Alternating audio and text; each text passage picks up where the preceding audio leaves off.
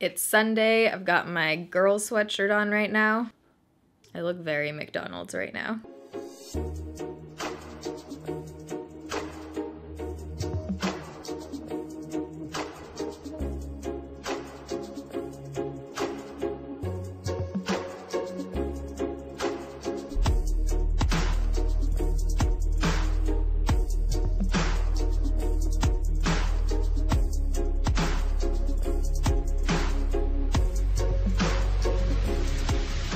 All right, it's day. Every time I try to say this, the dog barks. The dog. Are you okay? That sounds like a sad bark. All right, so today. Can I come hug you? It is day five of 15 days of foundation. This is where I try out a new foundation every single day for 15 days.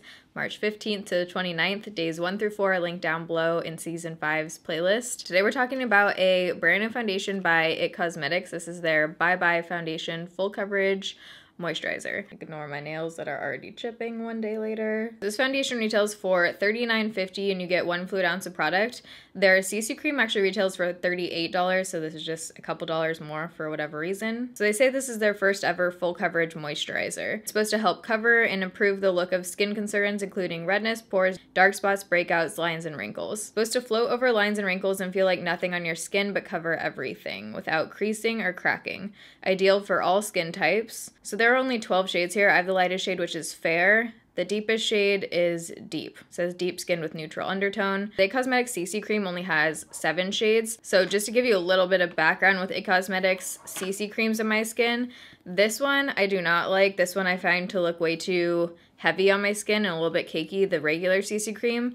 The Illumination CC cream is one of my favorite products. Either wear alone or to mix in with stuff. When I had oily skin, this is definitely a product that you need to set and it didn't last the best on my skin, but something about it makes your skin look very plump and healthy. I like dewy skin. I like that glow. A lot of people find that there's kind of glitter in this one. When I saw that they were coming out with the Bye Bye Foundation Full Coverage Moisturizer, to me it kind of sounds like this, like a full coverage moisturizer kind of sounds like a full coverage CC cream. You know what I'm saying? The ingredients are very similar in these. The shade Fair in this one too. This is actually the shade Light right here because I ran out of Fair. I have to restock. So I'm to start those swatches right now so you can see how these three shades compared to some of my other foundations. Right, I've got swatches up the arm right now because I'm doing a few days in one here. But here's IT Cosmetics Bye Bye Foundation in the lightest shade Fair. Next over is the IT Cosmetics CC Cream in the lightest shade Fair. There is a little bit of difference in the undertones of these two shades.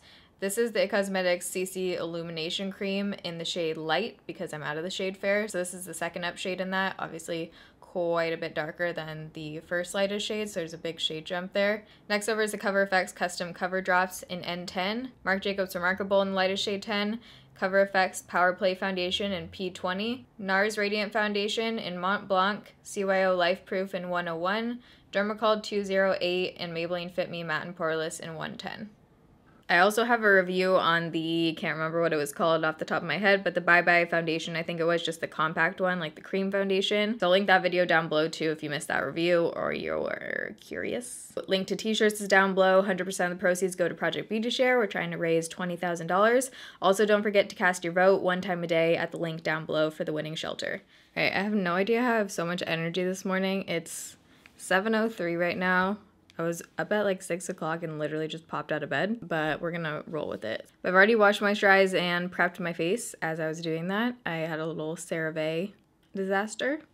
Literally squirt face wash all down my arm into my hair, like half the bottle. So if you see remnants, black hair problems. So with the CC Illumination Cream, I typically like to use a brush with this. We're still gonna do half face with a brush, half face with a sponge. This looks like almost the same packaging. This one's just like a tiny bit smaller. I actually love the packaging of this because it's easy to travel with. You have this squeeze tube, but you also have a pump, so it's not gonna break or anything. So let's start out with a brush on this side of my face. I was out on the lake yesterday and got a little bit sunburned, but it's looking a lot better today. Yesterday I was like a friggin' tomato.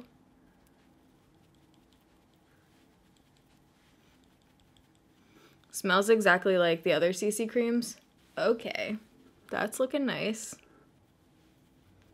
Okay, I'm gonna drag this over because I just got too much and blend it out with the sponge on my forehead. With a brush on my forehead, it doesn't look bad, but I'm definitely gonna use the sponge and just smooth this out. Doesn't look like total full coverage to me. That is sitting on my skin and dryness and everything really nice. It's a lot dewier than I was expecting. Sponge time. It smells very spa-like. It is pretty scented, if that bothers you. This scent doesn't totally bother me for some reason. It kind of smells just like fresh. And I've never found that It Cosmetics products break me out ever. If anything, the It Cosmetics CC creams, actually, I feel like every time I've worn this for a significant amount of time, like stuck with it as my sole foundation, my skin has actually gotten better. I've talked about that years ago. That is like one of the foundations that I feel like has actually helped my skin in the past. Now it's hard for me to stick with the foundation that much because I'm doing things like this. Sponge side works too. I feel like I got about the same coverage. For me, this one doesn't look like full coverage off of one layer. It's not covering my scarring or freckles. I'm going to try and just build this up a little bit since I already have some out here. And I'm going to use the brush to do that. I do like how it applied better with the brush. I feel like the finish looks about the same, but a little bit better on the brush side. So I'm going to build this up just on spots I need it. And you can build the CC cream up to full coverage. I was kind of expecting this one to be a little bit more full coverage off the go. This side is looking like a little bit more textured or something. Okay, so I just added a tiny bit right in this area and it still hasn't totally covered all of this, so I don't think I would call this one full coverage. It did build a bit, but if you're going into this thinking this is like ultra full coverage, it's not. I would say it's about the same coverage as the CC cream. That's a little bit disappointing because that's basically the differentiating factor here. I almost feel like this one builds a little bit better. Like I can get this one to total full coverage. This one, I mean, I can still see stuff. I don't not like how it looks. I actually think it looks really nice on the skin. Again, very similar to this. I'm actually not seeing like a huge difference between the two. This one is very dewy. We'll see if it gets a little bit less dewy as it sets, but the finish, yeah, feels very similar to that one too. Has like a tacky finish. This one, when I had oily skin, I would definitely have to set. Now that I have dry skin, I don't set it. And that's what I'm gonna do with this one as well, is just set this part. It is looking a little bit almost like too dewy, oily around my nose area, so I might set a little bit right there too. But typically on my dry skin now, when I do that, it looks too cakey right there. We'll see. We'll see how it sets down. If you already have this product, at this point, I don't feel like you really need this one, but we'll see how it wears throughout the day. This one might hold up better. But the shade is looking good.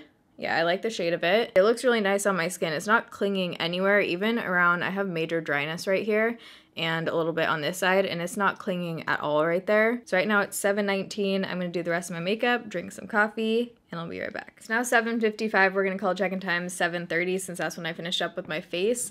I just did super basic makeup because I'm about to go to a brunch breakfast thing. I feel like I'm already crashing. It's not even eight. I have kind of mixed feelings right now. My forehead, it's not even that it looks too dewy. It's just not, it's almost making me look like older or something. It just looks like it's kind of sitting on top of my skin. Down here where I powdered, it looks fine. It looks a little bit heavy. I got a clip in natural lighting so you guys can see, and I did see when I looked really in depth and was like staring at my forehead, I did see a couple specks of glitter as I was moving my head. We have sun out today, so that's a rarity. Maybe that's why I don't usually see the glitter. But directly in the sunlight, I could see like literally two specks of glitter. That doesn't bother me at all because I really don't think you would notice it unless you were staring at your forehead. There's something about this that I'm not liking right now, which is kind of surprising me. Like, I don't know, it just looks like it's already separating on my forehead. I'm kind of debating whether I want to set my forehead or not, but I think I am because I don't like it how it is right now and I wouldn't wear it how it is right now. So let's go ahead and do that. I'm just using my same Laura Geller Balance and Brighten powder. This was on HauteLook the other day for like 18 bucks. So I just bought a backup because I'm already hitting pan on this. I'm not going to do right on the center. I'm just doing where it looks extra shitty, which is up here. From far away it looks better. Let me look up close. Okay, there we go. Definitely a bit better. I took a flash test before I just powdered my face, so I'm going to insert that right here. Definitely flashback. There was SPF 50 in this product, so kind of expected. Wouldn't wear this for flash photography. It also gave quite a bit of shine right on the center of my forehead. Right now I'm kind of indifferent to this one, right now I'm thinking if you have this, you probably don't need the other one. So on the rest of my face, not that anyone probably cares because it's very basic, but I used the Butter Bronzer in the shade Bronzer. I used the Butter Blush, also by Physicians Formula in the shade Vintage Rouge. Whenever I use these two products together, like their butter bronzer and their blush, everything just blends so easily. You smell like coconuts. It's a good start to the day. I use the new NARS highlighter again, but in the shade Albatross this time. Oh, Why'd they use the same shade name? Very pretty if you like a yellow toned white shade as a highlighter. What else did I use? My lips were boring. I used like the same thing I've been using. I used L'Oreal Tongue Tied with the Maybelline Vivid Hot Lacquer in Tease. And that's, oh, and then eyeliner, I just smudged the L'Oreal Infallible, this brown shade in brown. I just smudged that on the top and bottom, put it on my waterline, and then popped on my Too Faced Better Than Sex mascara, and that's all that's on my eyes. I almost put on false lashes again today, the half ones, because did anyone notice I actually kept those on all day yesterday throughout the video? I think that might be the first wear test video I've done where I actually kept my lashes on the entire day. We'll see how this holds up throughout the day. Next check-in I do will be in natural lighting, so I'll see you guys in a few hours. All right, so I just got home. It's two o'clock, so it's been on for about six and a half hours. So it looks good. It looks like a satin finish at this point. I don't think I look too shiny on the forehead. That This is like a good amount of Radiant to me. I feel like without a powder, it looks like greasy, just a bit too dewy. So I'm getting creasing right here. I was just doing a lot of talking, smiling, so it did settle in right there. Not bad on my upper lip as far as creasing.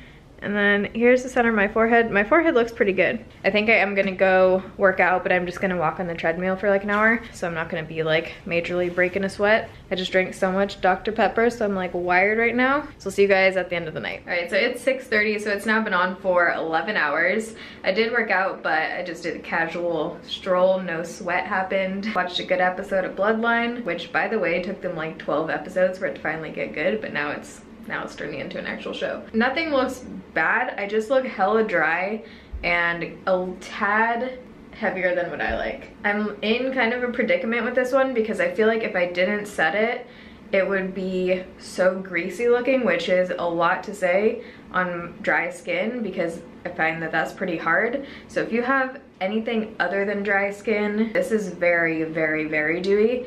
Even if you do have dry skin, it to me looked a little bit borderline too greasy, hence why we powdered. But then now I feel like my face feels and looks really dry. This probably would be kind of a mixing one for me. I don't see myself really wearing this one again. I think what I would do with something like this is mix in like a couple drops of the Catrice Liquid Coverage Drop Foundation, which I've been loving. If you want a matte foundation but you have dry skin, just mix in a couple drops of that with something else. So something like that is how I would probably wear this one. If you have the IT Cosmetics CC Illumination, I definitely don't think you need to get the Bye Bye foundation. And I'm a dewy person. Like I love a good dewy foundation. It's just a little much. This is why I do kind of a follow-up wrap up video where I'm gonna try it in different ways and then you'll see my final ranking and that's where I'll tell you how I did wear it. But I am gonna try the Catrice thing. I also might like it with a powder but then with a ton of dewy setting spray over top to just add that moisture back in. Feels weird wrapping up a foundation video so early in the night. Still have the whole night to do stuff. So I hope you guys enjoyed day five. If you did, don't forget to give this video a thumbs up.